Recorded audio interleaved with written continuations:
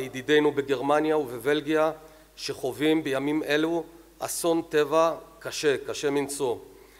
אני מבקש בשם ממשלת ישראל ובשם אזרחי ישראל להביע את תנחומינו על האובדן בנפש ועל ההרס הרב.